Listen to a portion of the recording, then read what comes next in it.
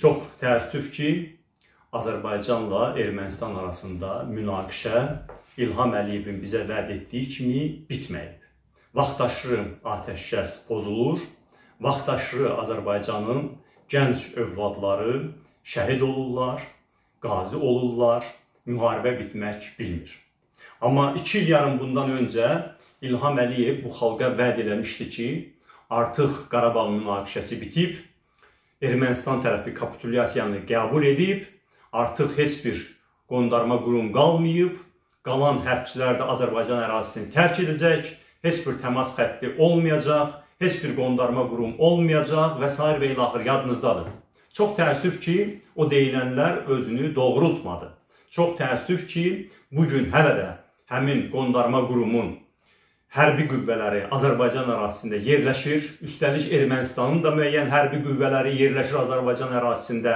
10-20 min arası silahlı qüvvə Azərbaycan ərazisindədir. Çox təəssüf ki, vaxtaşırı atəşkəs pozulur. Çox təəssüf ki, bu gün də təmas xətti var Azərbaycanın öz ərazisində. Heç kimin mübahisələndirmədiyi Azərbaycan ərazisində silahlı separatçılarla Azərbaycan ordusunun arasında təmas xətti də var. Yeni status quo formalaşıb və vaxtaşırı hərbi qarşıdurmalar olur. Biz də əks tərəfdə itkilər veririk.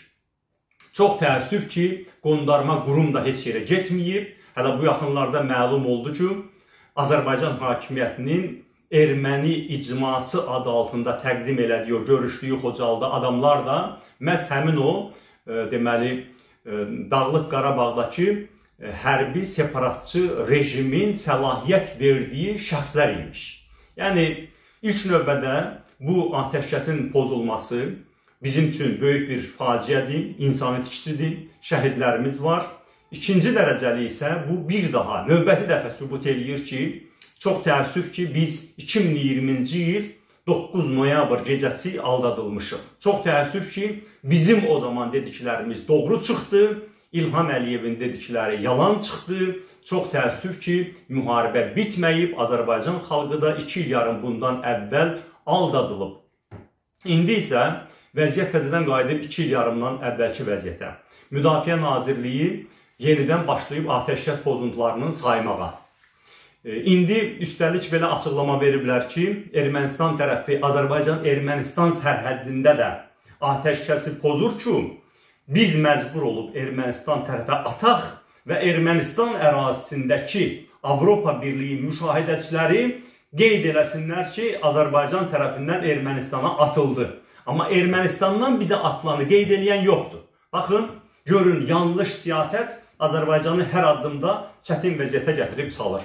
Əgər 2020-ci ilin 9 noyabrında həmin o yanlış siyasət Rusiyanın işğalçı ordusunu Qarabağa gətirdi və bizi bu günlərə saldısa, ötən ilin sonlarında da yanlış siyasət razılaşmadı ki, Avropa Birliyinin siyasi müşahidəçiləri sərhəddin bizim tərəfində də olsunlar ki, Ermənistan tərəfindən atılan atəşləri də qeydə alan olsun.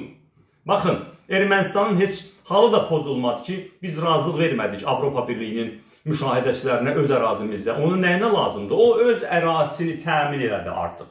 100 nəfər Avropa Birliyi siyasi müşahidəçisi bir neçə kilometrdən bir mövqe seçiblər, texniki vasitələrlə monitorinq aparırlar və Azərbaycan tərəfindən ora nə atılsa qeyd olunacaq. Amma Ermənistan tərəfindən bizə atılanlar qeydə olunmayacaq və biz yenidən beynəlxalq baskıya məruz qalacağıq. Hansısa bir arqument Azərbaycan hakimiyyəti ortaya qoya bildimi? Nəyə görə sərhəddin Azərbaycan tərəfində Avropa Birliyinin silahsız siyasi müşahidəçiləri olmasın? Əziz həmvətənlər, o adamların başqa bir missiyası yoxdur. Onlar sadəcə dövlətlər arası sərhəddə atəşin olmamasına nəzarət edirlər. Və əslində bizim də marağımız uyğundur ki, nəhayət bitsin bu sərhəd döyüşləri. Biz sentyabr döyüşlərində 80 nəfərdən artıq şəhid verdik və bu gün də başımız dərdlədir həmin o sərhəd toqquşmasına görə. Bir halda ki, onsuz da böyük savaş imkanları yoxdur. O savaş imkanları əldən çıxıb 2020-ci ilin 9 noyabr günündə bu sərhəd toqquşmaları ilə əlavə itkilər vermək Azərbaycan xalqının maraqlarına ziddir və həmin Avropa Birliyinin müşahidəçiləri də bu sərhəd toqquşmalarının qarşısını alacaqdır. Heç bir izahat verə bilmədi ki, Azərbaycan hakimiyyəti nəyə görə həmin Avropa Birliyinin silahsız müşahidəçiləri sərhəddin bizim tərəfimizdə olmasın. Həmin o müşahidəçilər narahat olmayın. Azərbaycan hakimiyyətinə ünvanlayıram bu sözü əlbəttə ki. Gəlib ölkədə e, media azadlığının monitorinqini etməyəcəkdi, siyasi azadlıqların monitorinqini etməyəcəkdi, korrupsiya tərəfə heç baxmayacaqdı. Söhbət yalnız Ermənistan tərəfindən bizə atılan mərmilərin qeydə alınmasından gedirdi. Mən bilirəm ki, indi müəyyən az məlumatlı insanları aldatmağa çalışırlar ki, güya onlar gəlib bizim hərbi sirləri öyrənə bilərmiş. Əziz həmvətənlər, bilin, bu gün Azərbaycanın, heç dünyada heç bir ölkənin, hətta Rusiyada daxil olmaqla NATO-dan sirri yoxdur. Hər şey nəzarət olunur. Hansı texnikamız harada yerləşib onu da bilirlər. Səngərlərimizin şəklini də çəkə bilirlər. Yəni bizim güya hansısa bir sirri qorumağımız, bizim səngərlərimizin vəziyyəti, orada sərhəd bölgəsindəki texnikamızın vəziyyəti onsuz da NATO-ya, Avropa Birliyinə məlumdur. Yəni bu arqument işə yaramır.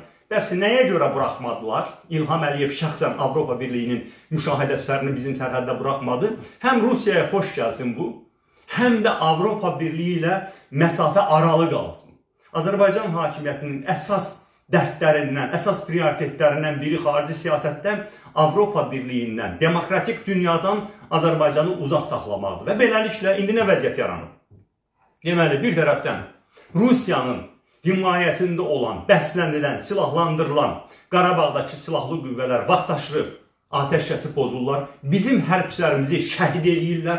Qorxmadan, çəkinmədən, həmin Rusiyaya güvənərək bizim hərbçilərimizə atəş açırlar. O biri tərəfdən isə biz Ermənistan tərəfdən də təxribat görürük. Əks cavab atəşi aça bilmirik. Çünki əl qolumuz bağlıdır. Bizim at atacağımız atəşlər qeydə alınacaq. Ermənistandan atılan atəşlər qeydə alınmayacaq. Qaldı Qarabağın içində baş verənlər və bu atəşkəs pozuntularında Rusiyanın rolu ilə bağlı olanlar. Əlbəttə ki, Rusiya bütün bu gərginliyin mərkəzindədir. Məhz ona görə bu gün bu gərginlik baş verir. Qarabağda atəşkəs pozulur.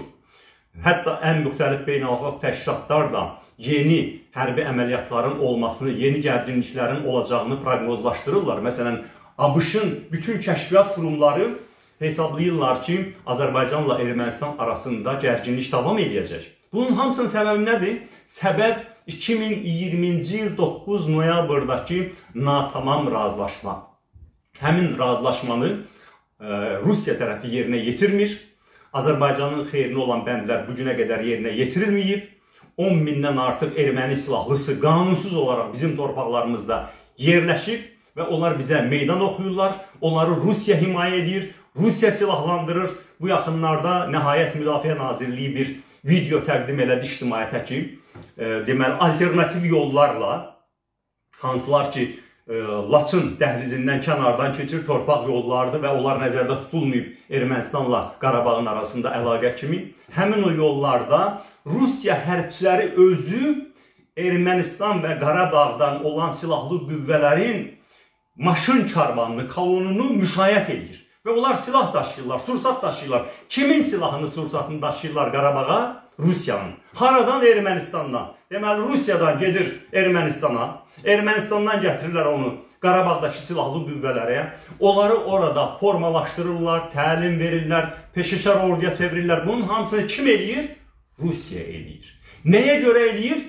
Münaqişənin bitməməsi üçün eləyir. Bəs Rusiyanı kim gətirib yerləşdirib bizim torpaqlarımıza? İlham Əliyev. Bəs Rusiyanın Qarabağa gəlib yerləşməsini bu xalqa qələbə kimi təqdim edən kim olub? İlham Əliyev və bugünkü hakimiyyət. Və bu gün artıq biz bu siyasətin iflasını görürük. Və nəhayət bu məsələdə mən bir məqama da toxunmaq istəyirəm. Baxın, bizim o sentyabr döyüşlərindən sonra başımız dünyada nə qədər ağrıdı. Məsələ bütün beynəlxalq müstəvilərə çıxdı. Azərbaycana qarşı olmazın qınaqları gəldi, ittihamları gəldi. İndi bizim öz torpaqlarımızda qanunsuz silahlı dəstə tərəfindən hərbçilərimiz şəhid edilib. Azərbaycan torpağında heç bir başqa silahlı dəstə ola bilməz. Qarabağda yaşayan ermənilərin humanitar hüquqlarından danışa bilərlər, müzakirə oluna bilər. O cümlədən Laçın yolu ilə, Laçın dəhlizi ilə bağlı məsələlər beynəlxalq aləmdə müzakirə olunur. Bunu hardasa başa düşmək olar. Amma Qarabağda hansısa silahlı dəstələr heç vaxt legitim ola bilməz. Dünyada heç bir qüvvə həmin o silahlı dəstələri legitim qüvvə saya bilməz. Bəs Azərbaycan diplomatiyası haradadır? Azərbaycan diplomatiyası nəyə görə bu gün bütün dünyanı ayağa qaldırmır ki? Baxın, siz burada güya dinc insanlardan danışırsınız. Onların humanitar faciəsindən danışırsınız güya. Amma burada böyük bir ordu var bizim torpaqlarımızın içində. Böyük bir ordu, həmin ordu həyasızcasına bizim hərbçilərimizə hücum edir. Bizim hərbçilərimiz öz torpaqlarımızda şəhid edilir. Hanı beynəlxalq qınaq? Hanı bu məsələdən Azərbaycan diplomatiyasının istifadəsi? Çox təəssüf ki, Azərbaycan hakimiyyəti Azərbaycanı olduqca uğursuz bir vəziyyətə salıb. Vaxtı ilə gerçək qələbə qazanmaq fürsətini Azərbaycan hakimiyyəti itirib. Azərbaycan ordusunun real döyüş meydanında qazandığı hərbi zəfəri diplomatiya masasında, siyasət masasında itirməkdədir Azərbaycan hakimiyyəti.